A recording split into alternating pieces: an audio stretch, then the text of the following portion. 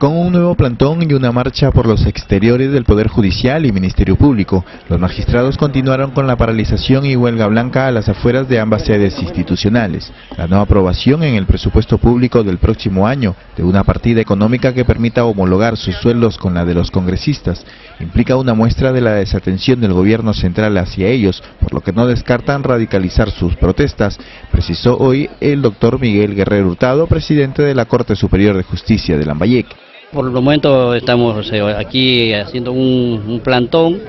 y luego vamos a retornar, por lo menos nosotros, este, los jueces superiores, a una sala plena y ahí se va a determinar qué medidas tomar a partir del día lunes. No sé, los señores este, fiscales también seguramente tomarán sus acuerdos, así como la Junta de Jueces. Hay dos alternativas, pues de repente, digamos, continuar con la labores normal hasta esperar algún resultado, o en todo caso, continuar con la paralización de las labores. Pero eso se va, digamos, a dilucidar democráticamente en cada una de nuestras asambleas. El titular de la Corte Lambayecana expresó que lo que hizo el gobierno fue desoír sus demandas. El señor eh, presidente de la Corte Suprema este, ha hecho su exposición ante el Congreso,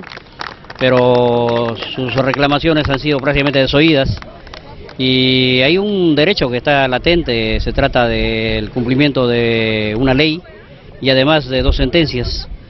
y, como siempre hacemos nosotros la aclaración pertinente a la ciudadanía de que acá no se trata de un incremento de haberes, sino que simplemente del cumplimiento de una ley. En ese sentido, los magistrados de la que estamos aquí, como dice, todavía eh, en pie de lucha,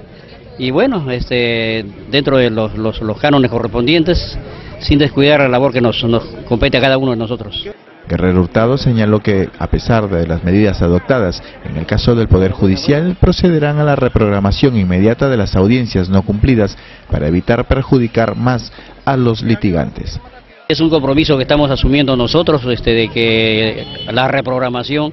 no va a ser para dentro de un año, sino que tenemos que ir poniendo esos expedientes, como ya se está haciendo, para estos días, eh, ya digamos que, bueno, ya concluyó prácticamente el 20 de noviembre,